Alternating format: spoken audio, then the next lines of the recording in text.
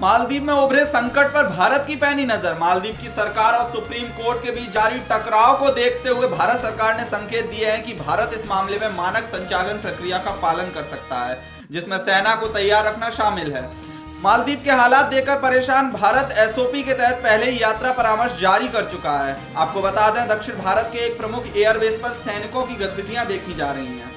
सेना के एक अधिकारी ने कहा कि एसओपी के मुताबिक किसी आकस्मिक स्थिति या संकट से निपटने के लिए सैनिकों को पूरी तरह तैयार रखा गया है। भारतीय मुसलमानों पर बोले ओवैसी। असुद्दीन ओवैसी ने लोकसभा में प्रस्ताव रखा कि केंद्र सरकार ऐसा कानून लाए जिसमें किसी भारतीय मुसलमान को पाकिस्तानी कहने पर तीन साल की सजा हो। आपको बता दें कि लोकसभा में हो रहे चर्चा के दौरान ओवैसी ने कहा कि आज़ादी के सत्तर साल बाद भी लोग उन्हें पाकिस्तानी कह के बुलाते हैं।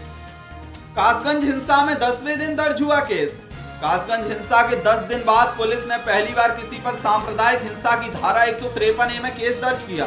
मंगलवार को दंगे का दूसरा केस दर्ज हुआ। इसमें अफवाहों को रोकने के लिए व्हाट्सएप ग्रुप चलाने वाले दो एडमिन को नामजद किया गया है। वहीं इन दोनों पर धार्मिक भावनाओं को भड़काने का आरोप है। मंगलवार को चंदन हत्याकांड में आरोपी सलमान को पुलिस ने कासगंज में गिरफ़्तार कर लिया। राफेल सौदे की गोपनीयता पर सियासी बार कांग्रेस ने अब सरकार के खिलाफ राफेल डील को लेकर मोर्चा खोल दिया है। कांग्रेस अध्यक्ष राहुल गांधी ने इस रक्षा सौदे में न सिर्फ़ घोटाले का दावा किया है, बल्कि सीधे तौर पर इस डील में प्रधानमंत्री नरेंद्र मोदी की भूमिका पर सवाल उठाए हैं। आपको बता दें, कांग्रेस अध्यक्ष ने कहा कि मोदी जी ने व्यक्तिगत रूप से ये सौदा करवाया। मोदी जी व्यक्तिगत रूप से पेरिस गए, व्यक्तिगत रूप से सौदे को बदलवाया गया, पूरा भारत इसे जानता है।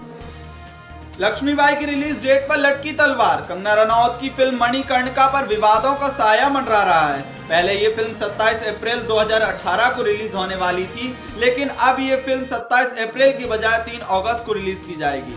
उम्मीद जताई जा रही है कि 15 अगस्त के आसपास आज़ादी पर बन रही इस फ़िल्म को अच्छे दर्शक भी मिलेंगे।